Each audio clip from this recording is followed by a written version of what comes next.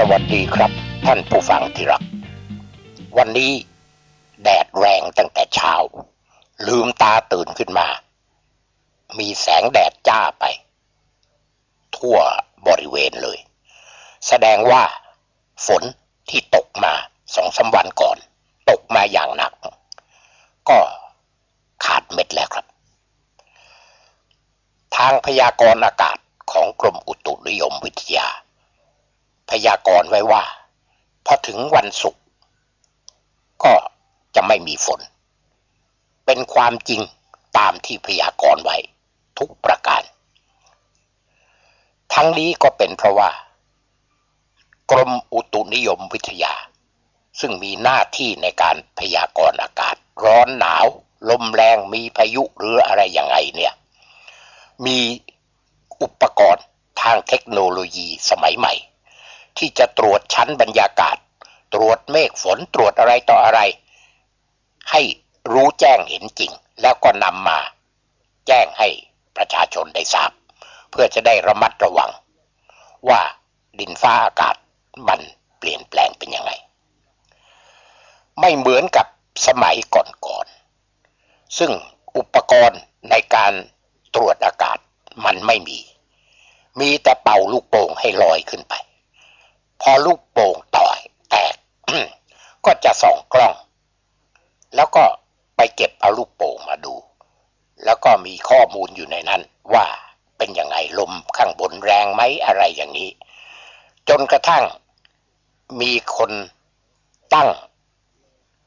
เรียกว่าตั้งบรรดาศักดิ์ให้แก่เจ้าหน้าที่ ว่าเป็นขุนปล่อยลูกโป่งลอย ขุนปล่อยลูกโป่งเล่น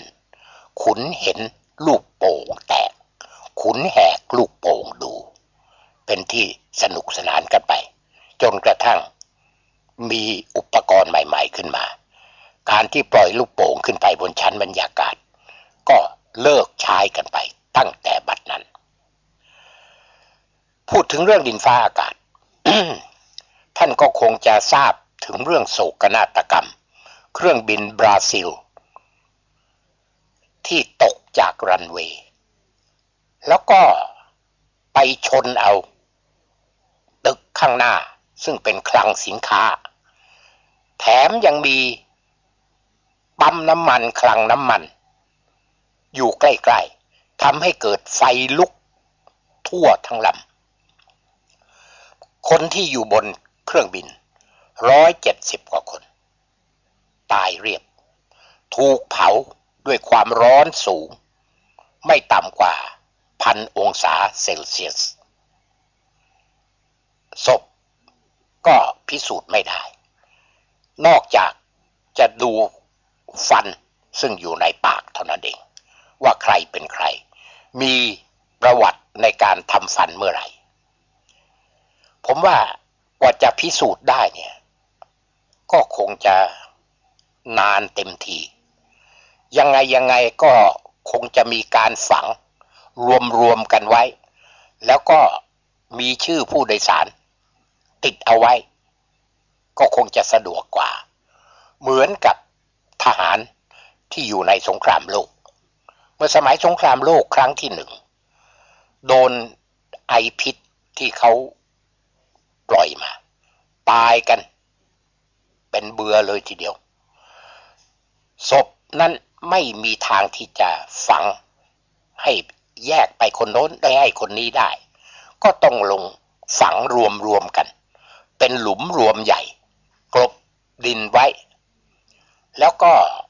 อยู่มาวันหนึ่ง ก็มีดอกไม้สีแดงโผล่พ้นจากหลุมศพใหญ่ขึ้นมา ทางแม่ทัพอังกฤษท่านก็เลยเรียกว่า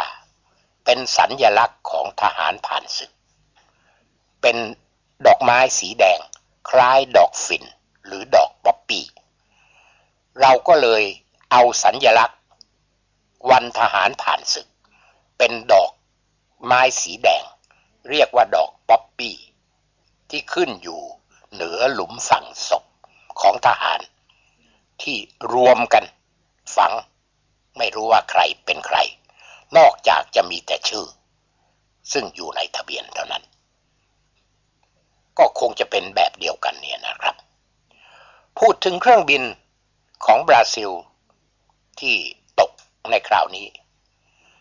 ตามข่าวบอกว่า สนามบินที่ซานซาซาเปาโลเนี่ยนะครับ อยู่ในชุมชน ไม่ทราบว่า สนามบินมาสร้างทีหลัง ชุมชนอยู่มาก่อนหรืออยังไง หรือชุมชนเข้ามาสร้างบ้านเรือนอยู่ในเมื่อมีสนามบินอยู่แล้ว ก็อย่างบ้านเราเนี่ยนะครับ ดอนเมืองเนี่ยแต่ก่อนนี้ เป็นที่ดอน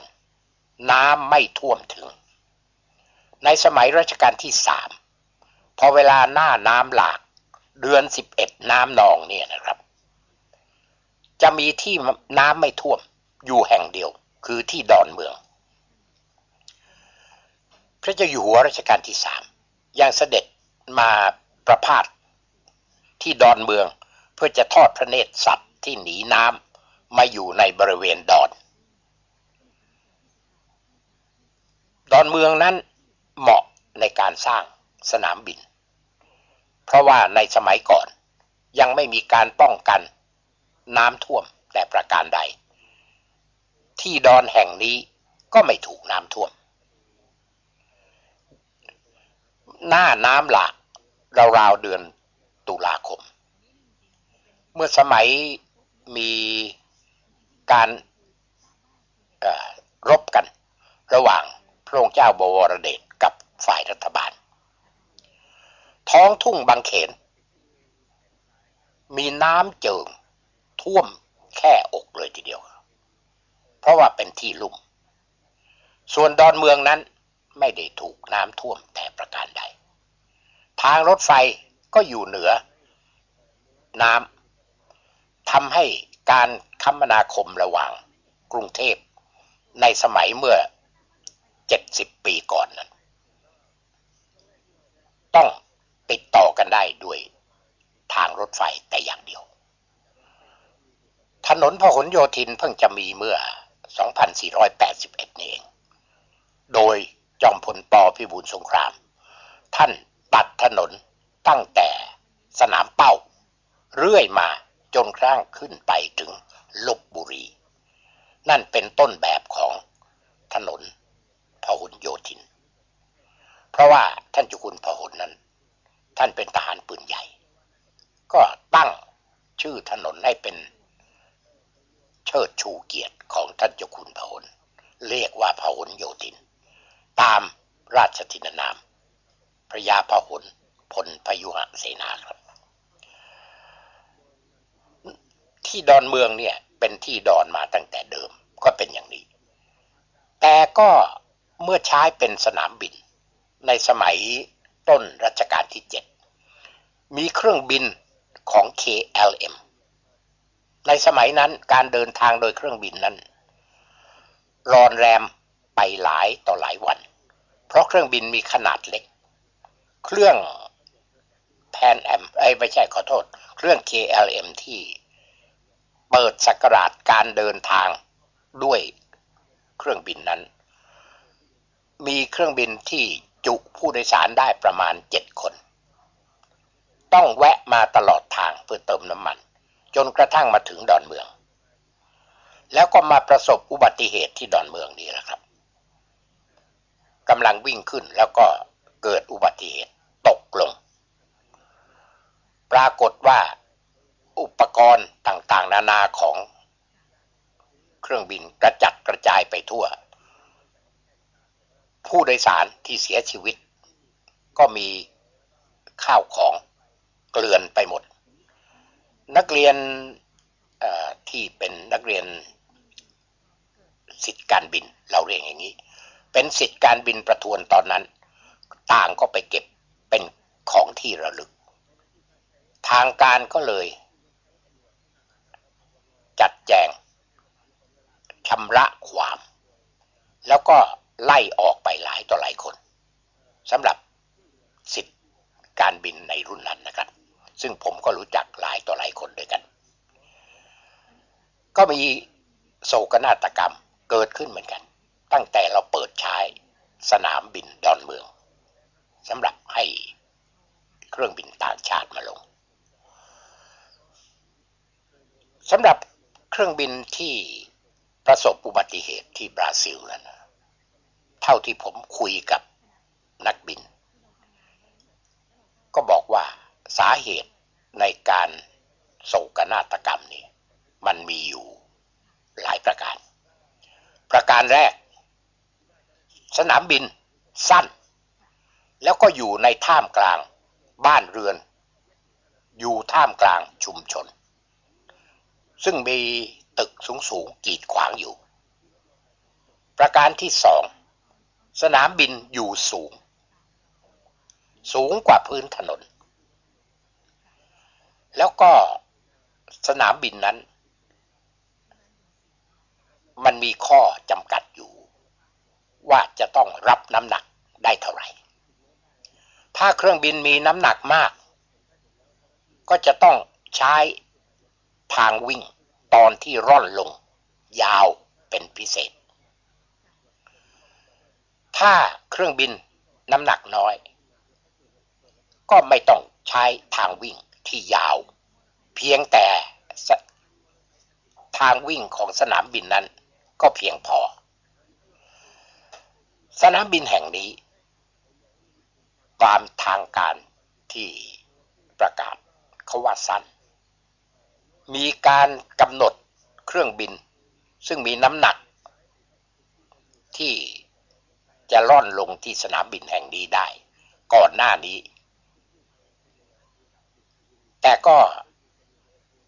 ในระยะหลังก็ไม่มีไม่มีการ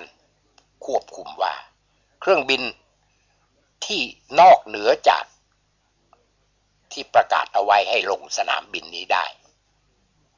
ก็เป็นเครื่องบินที่ใหญ่ขึ้น น้ำหนักมากขึ้น ซึ่งต้องการทางวิ่งยาวขึ้น ก็ไม่มีใครดูดำดูดีจงกระทั่งเกิด เรียกว่าอุบัติเหตุครั้งหนึ่ง แต่ก็ยังไม่ประกาศปิดสนามบินแห่งนี้ จนกระทั่งมาเกิดโศกนาฏกรรมคราวนี้แล้วนะครับ นักบินที่ผมคุ้นเคย ก็บอกว่านอกจากสนามบินสั้น รับน้ำหนัก เครื่องบินมากที่ต้องการทางวิ่งยาวเนี่ย ก็ยังจะต้องมีอีกคือว่า สนามบินนี้อยู่เหนือพื้นถนน สุดท้ายปลายทาง ถ้าเบรกไม่อยู่ ก็จะลื่นถลายพ้นรันเวย์ออกไป ตกลงไปข้างล่าง อาจจะไปชนกับตึกราวบ้านช่อง ซึ่งอยู่ริมถนน นั่นก็เป็นการคาดการณ์ แต่ในที่สุดก็เกิดขึ้นได้ในคราวนี้ นักบินท่านว่า คงจะเป็นด้วย นักบินนำเครื่องล่อนลงที่สนามบินแห่งนี้ ลงล้ำแทนที่จะลงที่ปลายสนาม วิ่งไปทางหัวสนาม กลับมาลงเลยจุดที่แปะพื้น มามาก จนกระทั่ง ทางวิ่งเนี่ยไม่พอ ที่จะทำให้เครื่องบินหยุด เพราะว่าเหลือทางวิ่งสั้น นั่นประการหนึ่ง อีกประการหนึ่ง เขาว่าดินฟ้าอากาศ ไม่เอื้ออำนวย มีฝนตก มีลมแรง น้ำที่ขังอยู่บนรันเวย์เนี่ย จะทำให้เกิดภาวะอย่าง เรียกว่าไฮโดรเพลนคือเพลนนี่หมายความถึงพื้นที่นะครับ ไม่ใช่ไม่ใช่เพลน ซึ่งแปลว่าเครื่องบินไฮโดรนั้นก็คือน้ำซึ่งขังอยู่บนพื้นรันเวย์ทางหอ ต้องเตือนเครื่องบินที่จะมาร่อนลง ว่าตอนนี้มีไฮโดรเพลน ต้องระมัดระวังเป็นพิเศษก็ถลาย หยุดไม่อยู่ ยิ่งไปกว่านั้น สนามบินนี้อยู่สูงกว่าพื้นถนน ก็หลุดลงไป ข้ามถนนไป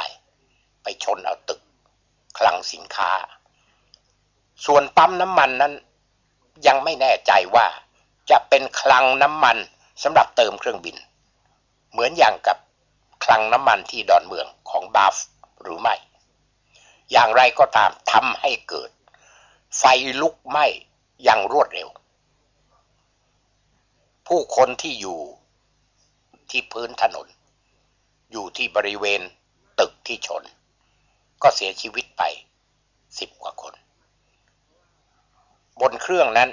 ไม่มีใครรอดเลยแม้แต่คนเดียว นั่นก็เป็น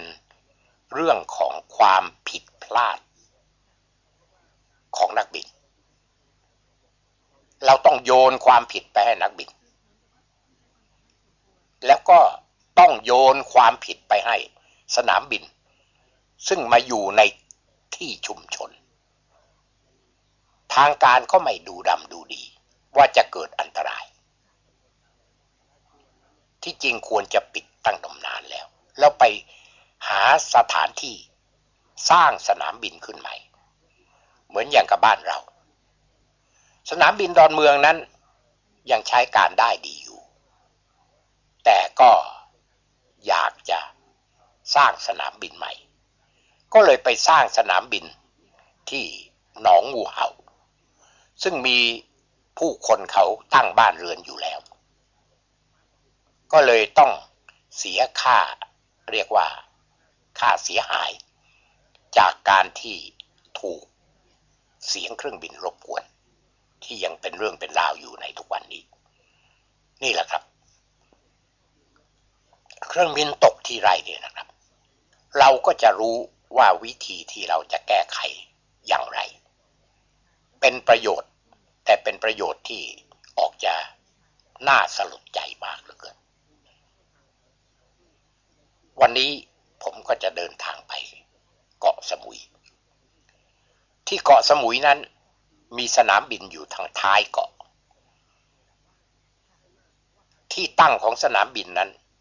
ไม่ค่อยดีนะแต่ก็ไม่มีที่ เป็นไม่มีพื้นราบ ที่จะสร้างสนามบิน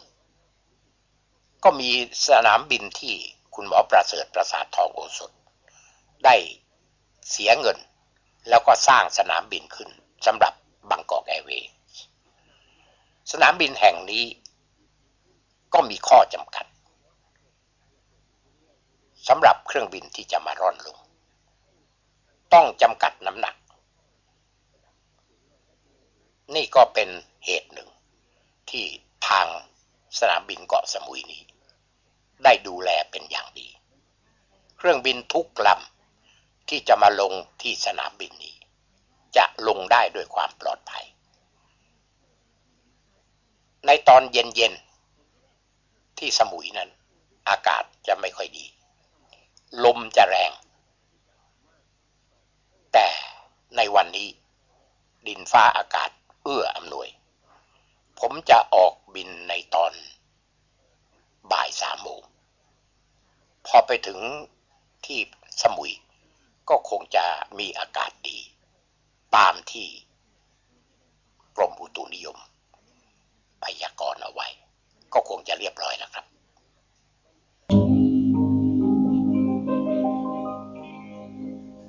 ท่านผู้ฟังที่รักครับ ผมไปเกาะสมุยครั้งแรก ประมาณสักราวๆตีสวะสามสิบปีที่แล้ว นานทีเดียวแล้วนะครับ ไปในคราวนั้น ไปโดยเรือพานุรังสี เราไปกันในครอบครัวผม ก็มีภรรยาผมมีลูกชายไอ้เจ้าปิ่นโตเถาเล็ก แล้วก็มีครอบครัวของพลเรือเอก สมพงศ์สิริหงษ์ซึ่งในตอนนั้นดูเหมือนจะเป็นมียศเป็นนาวาโท เป็นนายทหารคนสนิทของปลัดกระทรวง กลาโหม คือพลเรือเอกจิตสังคดุล ท่านเป็นกรรมการของบริษัทเดินเรือไทยหรือเดินบริษัทอะไรเนี่ยแหละครับ เกี่ยวกับเรื่องเดินเรือในอ่าวไทย มีเรือที่รับมาจากอิเซเชติก ชื่อของเรือนั้นตั้งตามพระนามของเจ้านายในสมัยนั้น อย่างเช่น เรือที่ผมโดยสารไปนั้น ก็ชื่อเรือพานุรังสี เป็นเรือขนาด 500 ตัน ขนทั้งสินค้าและผู้โดยสาร ในสมัยก่อน การไปเกาะสมุยจะไปได้ทางเดียว คือทางเรือ มีเรือที่ออกจากบ้านดอนไปยังเกาะสมุย นั่นก็เป็นทางหนึ่ง ที่จะไปให้ถึงเกาะสมุย ก่อนหน้านั้น ใช้เรือใบครับ การใช้เรือใบ เดินทางระหว่างเกาะสมุยกับสุราษฎร์ธานี จะต้องขึ้นอยู่กับลม จะต้องกางใบรับลม ให้เรือเดินมาจนกระทั่งถึงที่หมาย ต้อง กลางใบแล่นก้าวไปก้าวมา เสียเวลากว่าจะถึง แต่ก็ไม่มีทาง นอกจากจะใช้เรือใบ ตั้งแต่สมัยนู้นเลยทีเดียวแล้วครับ ในตอนหลัง อิเซเชติกก็มีเรือซึ่งเดินอยู่ในอ่าวไทย บางทีก็ออกไปถึงนอกประเทศ แถวแถวทางด้านเขมร จะไปแถวกำปงโสมอะไรอย่างนี้ ก็ทำให้การคมนาคมในหัวเมืองที่อยู่ภาคใต้ แล้วก็อยู่ริมทะเล ห่างจากสถานีรถไฟ ห่างจากทางรถไฟ ก็ได้ใช้พาหนะคือเรือเดินทะเล เป็นพื้นเลยทีเดียว ในสมัยเมื่อ 30 ปีก่อน ก็เรือเดินทะเลเนี่ยยังใช้การได้ดี เป็นพาหนะที่ขนถ่ายสินค้า เป็นพาหนะสำหรับผู้โดยสารที่จะเดินทางติดต่อกัน จากหัวเมืองทางภาคใต้ริมทะเลมาอย่างกรุงเทพ ในตอนนั้นผมออกเดินทางไปเกาะสมุย ก็ ชักชวนกันไป โดยคุณสมพงศ์บอกว่า ไปพักที่สมุยกันสักหน่อยเถอะ เพราะว่าไปเรือพานุรังสีเนี่ย มันสบาย มันมีเคบินสำหรับนอน ผมก็เลยยกขบวนยกครอบครัว สมทบกับครอบครัวคุณ สมพงษ์สิริหง ซึ่งมีคุณสุพันธรัตน์ แล้วก็มีลูกสาว ในช่วงนั้นดูเหมือนจะมีลูกสาวอยู่สองคน ผมไม่แน่ใจนะครับ มีมีจอยมีสีสดเนี่ยนะครับ ก็ไปด้วยกัน ยังจำได้ว่า ในวันที่ออกเรือจากกรุงเทพไปสมุยนั้น เป็นวันขึ้นสิบห้าค่ำผมไม่นอนในเคบิน แต่ขึ้นมาปูเสือนอนกันบนดาดฟ้า เรือพานุรังสี มาปูเสือนอนกัน ทั้งสองครอบครัว นี่ก็เป็นประสบการณ์ที่ไม่ลืมเลย ถึงแม้ว่าจะผ่านมาตั้งสามสิบปี ผมก็ยังไม่ลืม เพราะว่าพอออกปากอ่าวไปนะครับ ก็เป็นเวลาค่ำพระจันทร์กลางทะเลนั้น สวยที่สุดเท่าที่เคยเห็นมา ไม่มีไฟฟ้าเลยแม้แต่น้อย แสงสว่างแบบที่คนโบราณเขาบอกว่า แสงเดือนสว่างจนกระทั่งจับหมดได้ เป็นอย่างนั้นจริง ๆ ถ้าท่านไม่เคยเห็น พระจันทร์กลางทะเล ควรหาโอกาสสักครั้งหนึ่ง แล้วท่านจะเห็นได้ว่า พระจันทร์ในกลางทะเลนั้น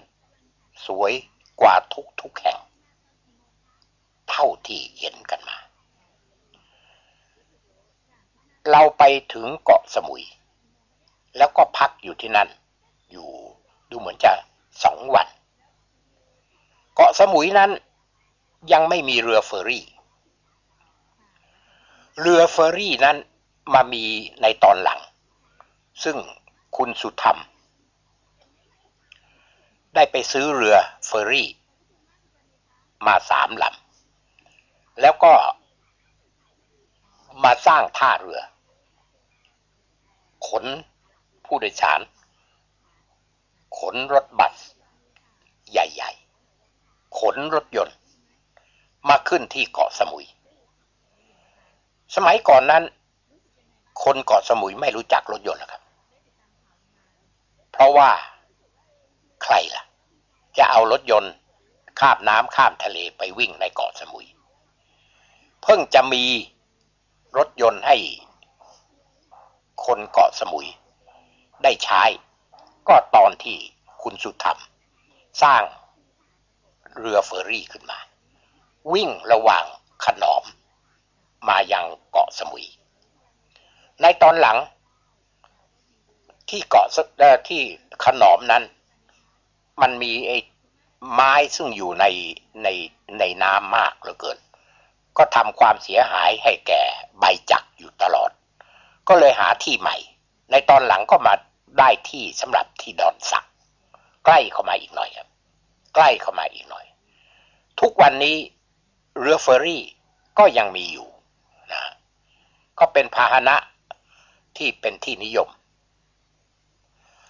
ทุกทุกคนที่จะไปเกาะสมุย ในสมัยก่อน จะต้องนั่งรถไฟไปลงที่พุนพิน สุราษฎร์ธานี แล้วก็นั่งรถต่อมา ลงเฟอร์รี่ที่ดอนสัก จากนั้นก็จะต้อง นั่งเรือเฟอร์รี่ไปจนกระทั่งถึงเกาะสมุย อีกทางหนึ่งก็มีเรือที่ออกจากบ้านดอน เรือนี้มีบริการมานานแล้วนะครับ แต่ก็มีเรือขนาดเล็ก ถ้าขึ้นไปอยู่บนชั้นดาดฟ้าเนี่ย เราไม่สามารถยืนขึ้นได้ จะต้องนั่ง แล้วก็เวลาจะไปไหนมาไหนจะต้องคลาน ลงมาอย่างพื้นข้างล่าง ผมเคยใช้บริการแล้ว เมื่อยหลังเหลือเกิน ก็พอมีเรือเฟอร์รี่มา ผมก็ใช้เฟอร์รี่มาโดยตลอด เพราะว่าในตอนนั้นผมก็สนิทสนมกับคุณสุดธรรม สนิทสนมกับคุณแอลพัฒนาในเรือ ซึ่ง เป็นเจ้าหน้าที่บริหารของเรือเฟอร์รี่อยู่ เราลงเรือไปหาสถานที่สำหรับที่จะเป็นท่าเรือเฟอร์รี่ อยู่เสมอเลยทีเดียวครับ ในตอนนั้นเราก็มีเรืออยู่ลำหนึ่ง เป็นเรือตำรวจน้ำเก่า ซึ่งเขาขายเป็นเศษเหล็ก เราก็เอามาปรับปรุงจนกระทั่งเดินเครื่องได้เรียบร้อย ใช้เป็นพาหนะในการสำรวจริมฝั่ง แล้วก็ใช้เป็นพาหนะที่จะไปดูสถานที่ท่องเที่ยว อย่างเช่นในที่มีชื่อเสียงกันอยู่ในนั้นในในในเกาะสมุยนะที่ที่ที่อ่างทอง ซึ่งเป็นอ่าวที่สวยที่สุดงดงามเหลือเกินหมู่เกาะอ่างทองนี่นะครับ พอตอนหลัง คุณหมอป ระเสริฐประสาททองโอสถ มีวิสัยทัศน์ที่ก้าวไกลมาก ก็ลงทุน ซื้อที่ดิน ซึ่งเป็นพื้นที่ราบทางปลายเกาะ สร้างสนามบิน เพื่อจะรองรับสนามบินใบพัด ซึ่งในสมัยนั้น สนามบินใบพัดที่ใช้กันเนี่ยก็ มีผู้โดยสารประมาณ 20 กว่าคนเท่านั้นเอง พอถึงยุคไอพ่นคุณหมอประเสริฐ ก็สร้างสนามบิน ให้ยาวต่ออีก ตอนนี้เป็นยุคเทอร์โบพรอปเป็นเครื่องบินกังหันไอพลคือเครื่องอที่ใช้อยู่ในปัจจุบัน ก็ปรากฏว่า มีผู้โดยสารที่ชอบสำหรับการบินไปเกาะสมุย โดยส่วนมาก หรือส่วนมาก เป็นนักท่องเที่ยว ที่ได้ไปค้นพบสถานที่ท่องเที่ยว ที่เป็นเกาะในทะเล ซึ่งมีสภาพธรรมชาติ สวยงามกว่า เกาะภูเก็ต สวยงามกว่าทางกระบี่ เพราะว่าเป็นเกาะ หาดทรายขาวจะอยู่ล้อมรอบตัวเกาะ เมื่อมีผู้มาเที่ยวมาก นักท่องเที่ยวต่างประเทศได้ค้นพบใหม่ ก็เลยยึดถือเอาเกาะสมุย เป็นหาด เกาะสวาดหาดสวรรค์ มาจนกระทั่งทุกวันนี้ คุณหมอประเสริฐประสาททองโอสถนั้น ก็มีบริการเครื่องบิน ทั้ง ATR ซึ่งเป็นกังหันไอพ่นและเครื่องบินไอพ่นเรียกว่าขนาด จุผู้โดยสารประมาณ 120 คน บินบริการอยู่ ตั้งแต่เช้ายันดึกทุกวัน ยิ่งในหน้าซึ่งเป็นหน้าฤดูการท่องเที่ยวที่เป็นไฮซีซั่นเรียกว่า